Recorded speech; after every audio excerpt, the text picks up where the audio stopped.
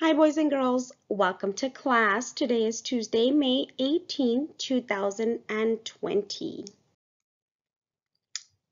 Okay, so I know that today is not Monday and that we did have a mystery reader yesterday because it was Monday. But the title of this part of your video is not Mystery Reader Monday. I had another person that you guys know asked me if they could reach you. They were very excited. And of course, I'm going to say yes. So I changed the title to Special Reader Tuesday. And I really hope that you like the book. Hi kids, this is Mr. Gandara and today I'm going to be reading The Brave Monkey Pirate by Hayes Roberts. One day, the pirate Mati was out running errands with his mom. They shopped for groceries and ate peas at his favorite restaurant. Then the pirate Mati's mom said, Oh yes, we need to stop off at the doctor's office for a quick checkup. The doctor checked Mati's heart, his blood pressure, and his knees. Then he explained that Mati would come back the next day and get a shot to protect him from scurvy or something. The pirate Mati did not like shots. That evening his father came home and Mati told him all about the visit to the doctor. Mati's father said, Mati, I know something that can help you. Take this map and my fastest pirate ship and find it. Also, if you say very still for the doctor, you can have some ice cream. So Mati followed the map through the wildest seas and climbed up volcanoes filled with fiery lava, and sneak past creatures so terrible that they will not be described in this book, until he reached an icy castle at the top of the mountains.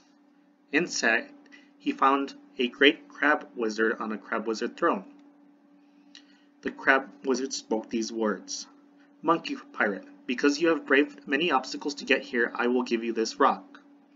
When you get a shot, you must squeeze the rock very tightly and count to three. You will be ma you will ma be magically taken into the future where the shot will be finished. Also, you can have some ice cream after.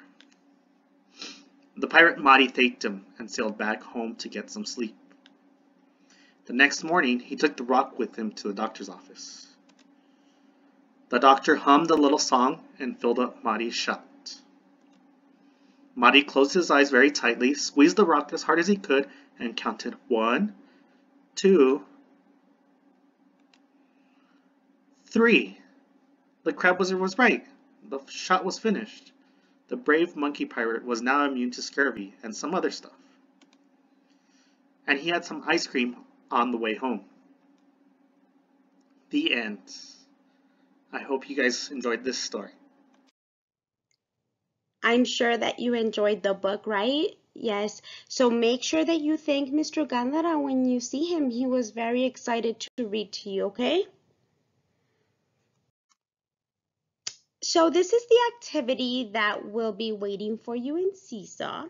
Now you're going to draw yourself and you're going to complete the sentence at the bottom where it says, when I grow up, I want to be, and then you have to fill in the blank. Then make sure to put your name on it, and then um, you can, see it in Seesaw, and it's also something for your parents to keep to remember when you did very well and graduated kindergarten. And it's a fun activity. So that one's waiting for you in Seesaw. So we're going to move on to our mystery animal game. Okay, so this game is a really fun game. I like to play it. It is a clue game. So I'm going to read to you a riddle. Now, you're probably like, a what? Well, I said a riddle. a riddle is like a mystery question with clues.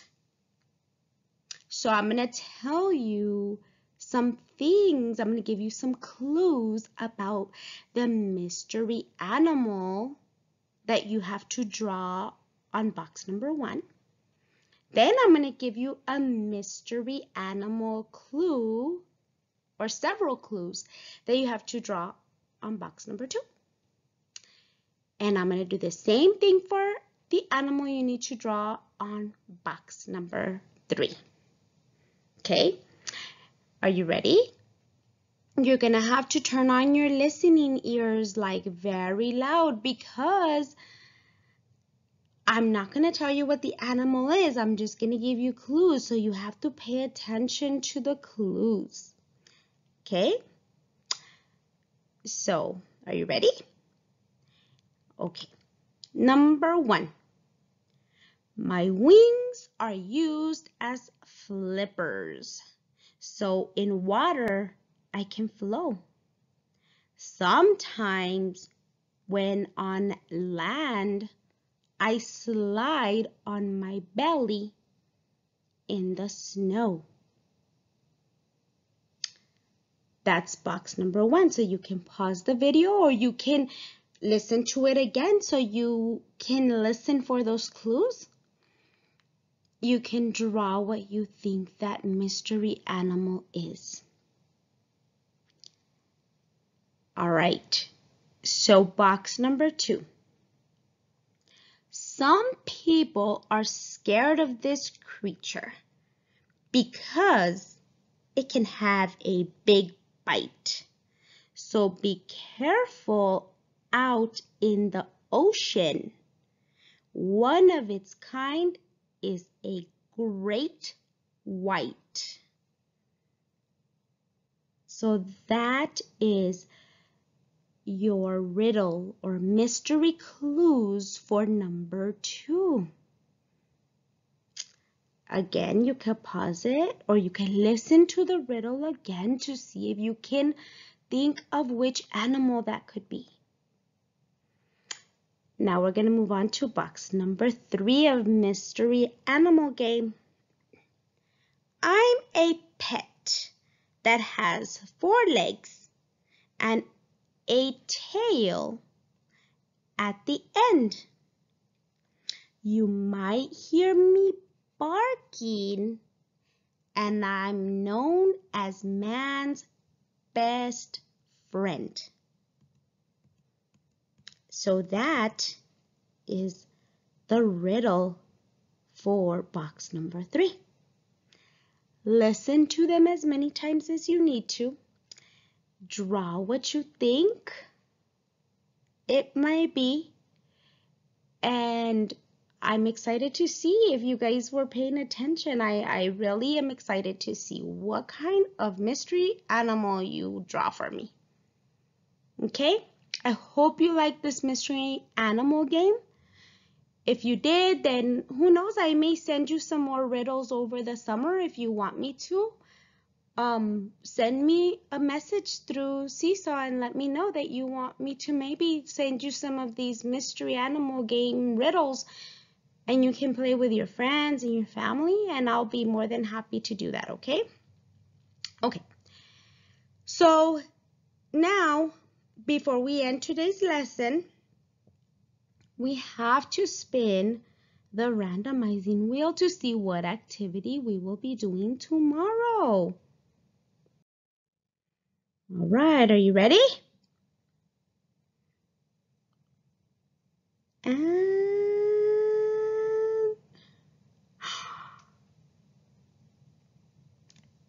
and we have show and tell tomorrow, ladies and gentlemen. So I have a few rules for show and tell. So for show and tell, the requirements are that one, you must record yourself, but not your face, okay? Just record whatever you want to show the rest of us. Just record that thing. But it must be something that means something to you. Like if you have a special little stuffed animal or a special little purse or a special notebook that you want to share with us, then all you have to do is take a video of it and tell us why it's special to you. Remember, don't record your face, just your voice, okay? And send it to me through Seesaw. And the reason I want you to send it to me through Seesaw is because I want to include it and I want everybody else to see your show and tell in tomorrow's lesson. Okay? All right, perfect. So we are done. This is the lesson for today, boys and girls. And it's not, I guess, a full lesson. It's more like our fun kinder activities for the last week of school, right? All right, well, have a great rest of your day. I miss you very, very much, and I hope to see you on Friday at our parade. Have a good day.